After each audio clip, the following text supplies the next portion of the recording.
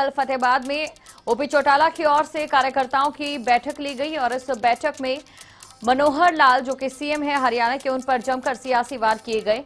और अब सीएम मनोहर लाल का जवाब इस पर सामने आया है। बड़ी खबर आपको बता दें, सीएम मनोहर लाल का जवाब सामने आया है। ओपी चौटाला को जवाब देते नज़र आए, क्योंकि फतेहाबाद में कार्यकर्ताओं की बैठक लेते समय ओपी चौटाला ने जमकर सीएम मनोहर लाल पर प्रहार किए थे, सियासी प्रहार किए थे।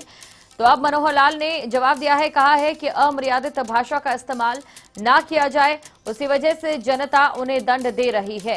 तो बड़ी खबर आपको बता दें, मनोहर लाल ने जवाब दे दिया है, सीएम मनोहर लाल ने अपना जवाब दिया है और कहा है कि गलत भाषा का उपयोग नहीं करूँगा, अमर्यादित भाषा का इस्तेमाल ना किया जाए और इसका जवाब जनता दे रही है, इसका दंड जनता दे रही है। बड़ी खबर आपको बता दें, सीएम मनोहर लाल खट्टर और ओपी चौटाला के बीच तनातनी अब खुलकर होने लगी है।